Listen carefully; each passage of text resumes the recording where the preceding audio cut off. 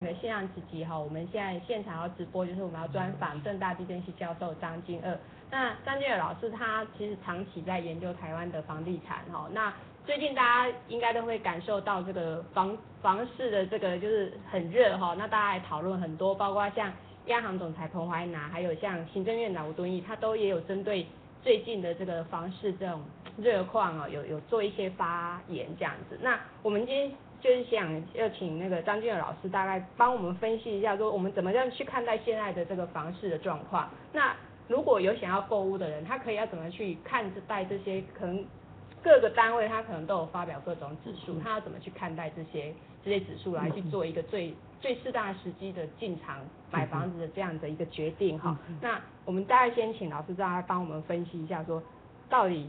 像媒体最近报道说，第三季房市都突破新高，那是不是真的房地产就是会越来越好呢？还是说，其实它的真实状况不是这样？是，嘿，我想很有意思啦。大家刚刚讲，呃，媒体讲第三季房市突破新高啊。嗯。可是如果大家看一下我们最近才公布的所谓全国国泰房产指数。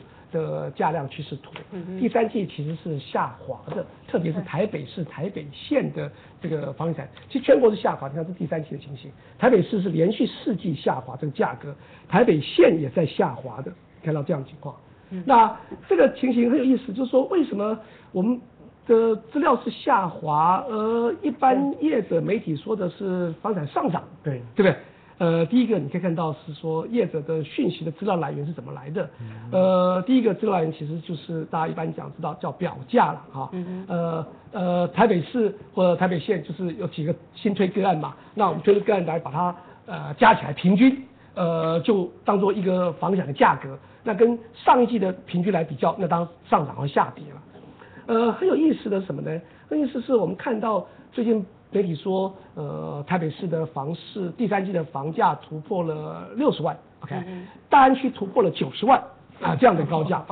呃，我们去找一下资料，因为我们其实所有资料都有了，去找一下大安区，结果呢，大安区只有两个案子推出来，一个案子是一百六十万的成交价，呃，开价是一百八十万了，OK，那另外一个案子呢是六十五万的成交价，所以一百六十万加六十万加起来除以二，说是九十万，所以大安区就突破了新价。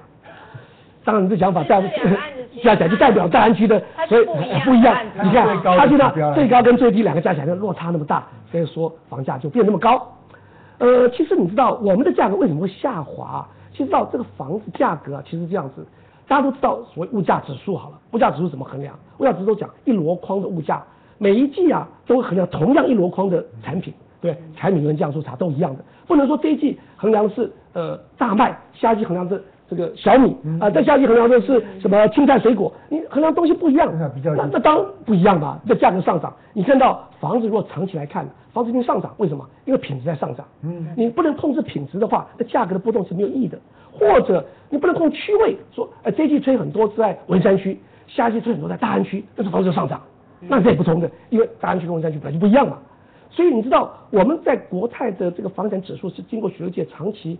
建立这个经济模型，在控制品质以下谈的价格的波动，所以我们每一季都衡量一个叫标准住宅，它的住宅就像刚刚讲物价指数，同样的一箩筐的相同的这个房子，这个在标准下看这个房子的波动的情形，所以不会受到这一季推很多的区位好区位，或者这一季推很多大的房子所影响，或者两个落差很大，你把加起来除以二，那不能叫平均数的，那房子是经过模型去跑的，所以真正的。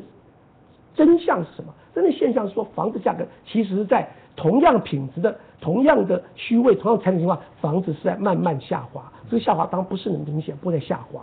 嗯。那这个背后就隐含叫一个资讯的扭曲或资讯的不健全。大家都看到台湾的房地产，特别台北都会去房产的，透过几个豪宅个案，特几个小的个案，就把夸张或者标的，就说你看台北市房子，你看一平三百万，或者一平两百万、一百万。那我现在推了八十万，不会吧？嗯，那那所以房价还在涨吧？那整个就受到诶豪宅市场影响到一般的这个中古的房子。嗯，你看到现在连那个老旧公寓啊，他们现在讲，其实飙到一平到一百零三万了，哦，吓死人了，对不对？那个都是当都有很多都市更新了各种因素了。不过，最后都看到整个价格的上涨是对这样那种资讯的这个不完整或资讯的不透明或资讯的少数个案。以偏概全，造成整个房价上涨。那我觉得这个是呃不道德或者不应该或者不合理。政府在面对如何一个好的讯底下，大家在做决策，不管买或不买啦，应该比较公平合理吧？政府要去面对这样的一个混乱的市场现象，我觉得是应该要更更仔细想看。所以我要讲说，当前房地产现象什么？大概从二零零七年开始啊，你就看到这个图，什么全国或台北市好了。二零零七年开始，你看到这个，大概二零零七年大概大约这样，它整个价跟量啊是在背离的。OK，价量背离在二零七年开始就发生了价量背离。我们那时候在二零零七年第三季啊，我们就说整个市场上呃开始量缩，呃价往上走，整个产业界开始慢慢做调整，市场开始要转向一个比较呃收缩的局面出现了。那很有趣的，一直到二零零八年呢，第一季、第二季什么现象？本来应该往下，整个市场力量要往下走，背离，就第一季、第二季这个量冒出来了，你知道。二零一八年第一季、第二季什么？是一个选举，刚好那时候总统大选或者这个这个立法院选举，所以整个市场上那种氛围又被选举行情所炒作出来。那选后呢？我一讲，选后回基本面是应该的吧？对，OK。所以我会觉得说，在那种情况下，应该慢慢会下滑。所以我记得我在第这个零八年第第四月的时候就说，房产应该回到下来的。哎，很有趣的结果，的确在第二季、第三季的时候，房产就下滑了。那那个叫短期的消息面、选举面所造成长期回基本面，那应该往下走。那零八年的下半年整个市场往下走也很清楚。那结果到零九年又开始涨，第二季会很特别，为什么又涨起来了？那当然大家觉得什么道理？就政府在宣布说，呃，大陆可以投资房地产，好开放募资来台。那大家很多的想象，其实这个议题已经炒了很多，只是政府正式开放之后，造成那个股票市场资金的。这个这个效应，整个资金效应造成大家觉得呃房产无处呃这个资金无处可去，或者强调放在这个房地产上是比较安心的，在经过金融海啸之后，所以那个房地产的资金行所造成的效果出现，这个什么意思？资金行的背后隐含就是有进有出嘛，而且是短期效应嘛，所以你看到当最近看到资金行情到顶了，M one。M one D，呃，M two 大概慢慢都已经差不多了，所以这边开始要收手，所以我就觉得市场上要回归基本面，所以要讲的意思什么？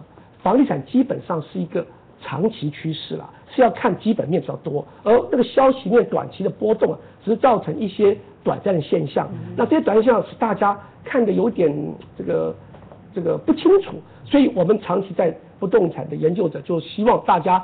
要看那个基本面的情况如何，所以看到说现在基本面真的都不好，因为什么？因为我们的实所得没有增加嘛，我们的失业率提高嘛，大家买房子没有这个能力嘛。我们现在连租金都在下滑，不管商业跟跟住宅租金都在下滑，那个投资者其实是没有这个条件的。可房价还上涨，上涨比所有的所得还高，把经济成长还高的情况下，显然那个叫不合理。我一强调不合理，不合理，不合理什么意思？大家知道不合理，在经济上讲的是在短期可以存在，短期偏离均衡叫不合理，它不可能长期存在。所以我一直觉得市场上那个短期现象不应该被夸大解释，而特别使得那些呃一般的购物者对这个市场现象没有看清楚。他刚开始也许说忍耐一阵子，觉得不合理，说不买。嗯。大看，哎，怎么不合理？还在涨，不合理还在涨，所以他到最后被这时候跳进来了。那我觉得最不道德就是。使得投资客赚了钱离开了，反而是哎，顾客套到最后一个。那我觉得这个是对呃，特别对于自住的人，我觉得是有这样的一个感触来提醒了。所以我想看到刚刚提到这个，不管央行啊，各个政府机构开始感到这个呃台北特别都会区的一些豪宅不合理现象，我想这个大家都有感而发吧。所以。